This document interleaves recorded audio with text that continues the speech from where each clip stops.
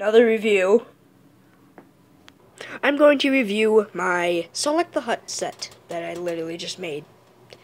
Um, I'll probably do Sail Barge after I rebuild it because it is completely destroyed from the videos. But, um, let's get on with this review.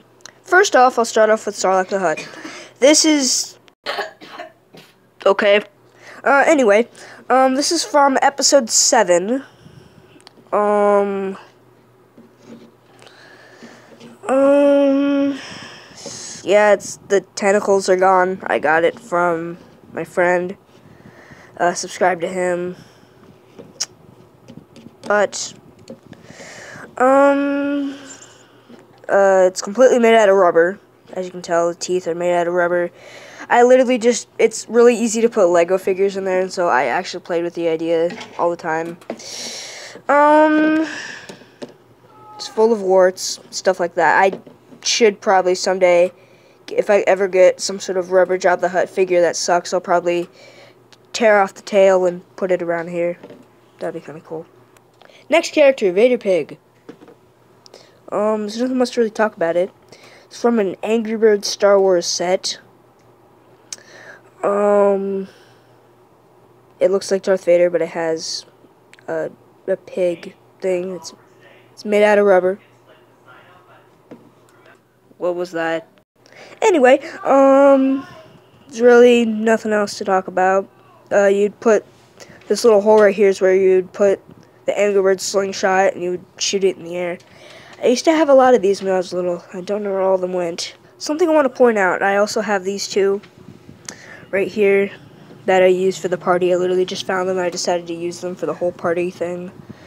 So here is a General Grievous peg. Yeah, a rubber, as usual. Um, there's really nothing too special about it, except in the eye holes, or the, not the eye holes, the pig holes, there's like, uh, like fabric almost, but it's, it's still rubber, but it has that weird textury feel. Um, also with this pig, it's just the Emperor, but it's a pig. Um, I like the texture of where it's just like lying down on the pig's nose. It's like his eyes don't even exist. Like, it's really weird. Also, something that's kind of cool. I like how they kind of uh, they don't just have it be some sort of like clear cut out of it or something like that. I don't even know where I'm going with this.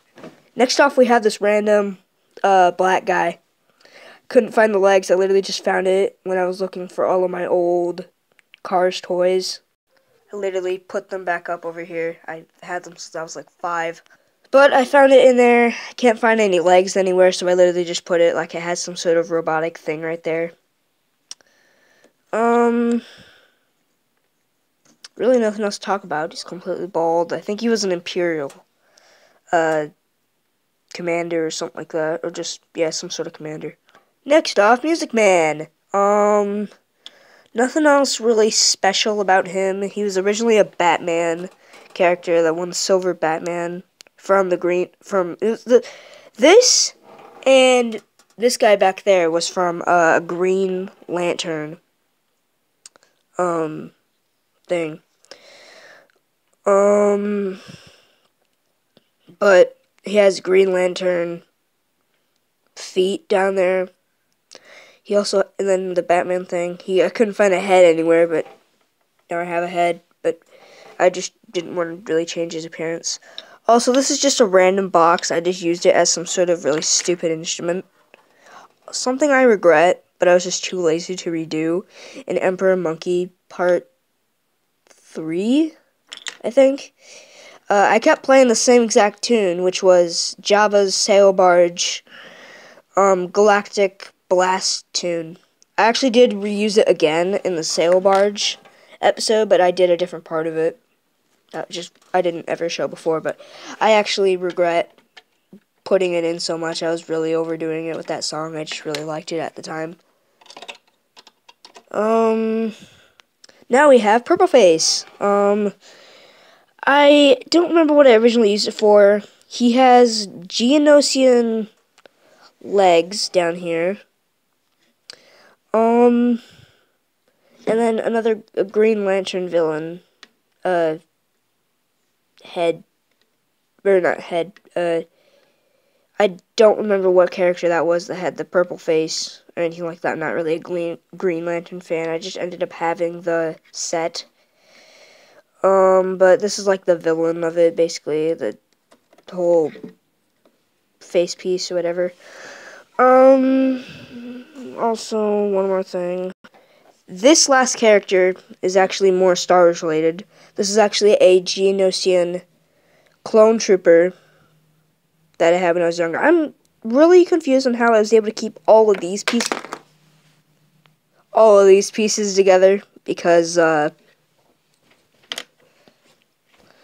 um it's really nothing else to talk about him. He I'm, he did have a uh, helmet, but I never could find it anywhere. So yeah, there we go. Now finally we have the turtle. Um, there, this turtle, I don't remember where I got him from, but I just found him randomly. I decided to use him as like a rancor type thing. He fit in there perfectly. Um, and I was just like, okay, we'll use it. Also, I purposely made him retarded too because just look at that face. Um, he's uh, rubbery. He's hollow. There's also a hole down there, so if you want to put him in water, and then he could like squeeze it, and then the water would come out of his mouth. I think that was the gimmick with this. A few more things that I ended up using. This um, starfighter that I found in my closet. Um, really nothing to talk about. I literally just added it in because there's some way that the one uh, bounty hunter was going to get away with, or something like that. I don't know. I literally just added it in at the last second. Also, same with this thing. I added it in at the last second, but I just liked it so much. Um, this is actually just a soldier.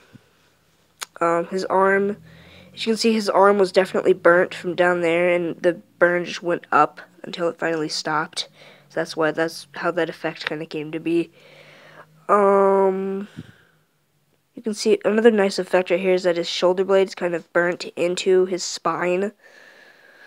Um, another thing that we did just to make it look a bit more real, we made his head really like me and my buddy. We made his head really floppy.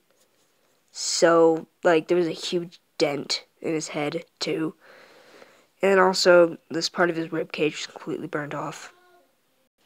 Okay, now let's actually get to the actual, like, set itself. And we are the characters over there.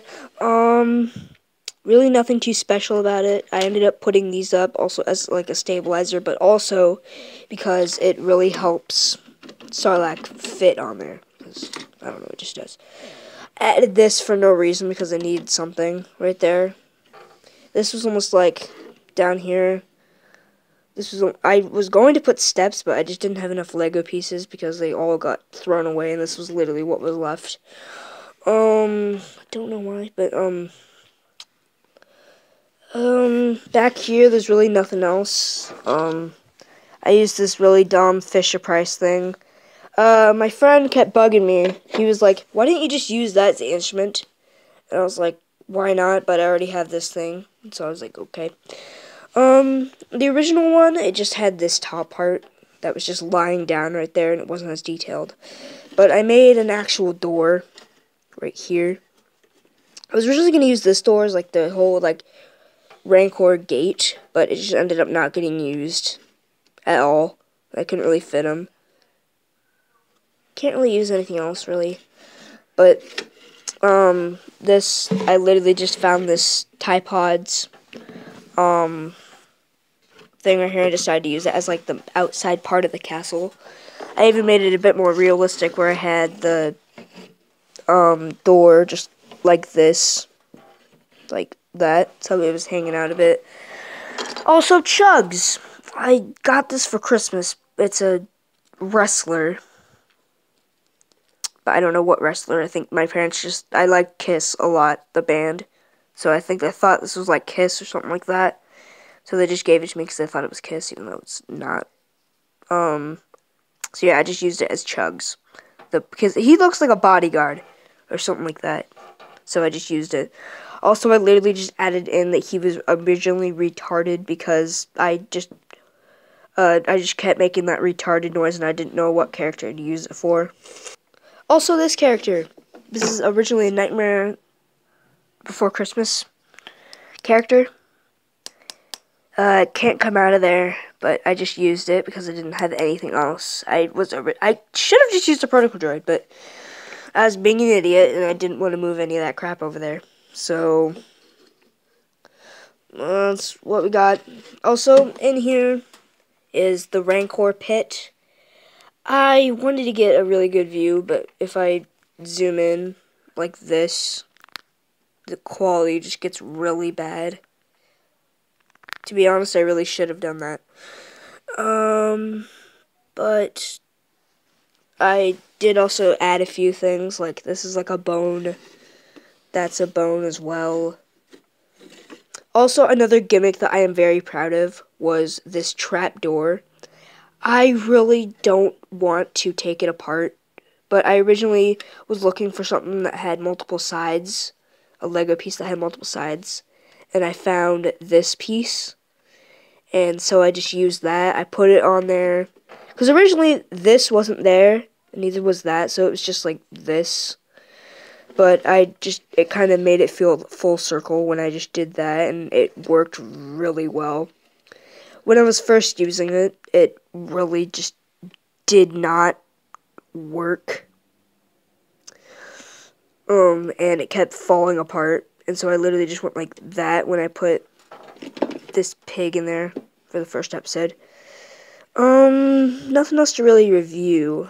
So um, whenever I do another review, I'm going to review this. Oh, it fell apart. But, and also the Jar Star. I will review that later in another video. See ya!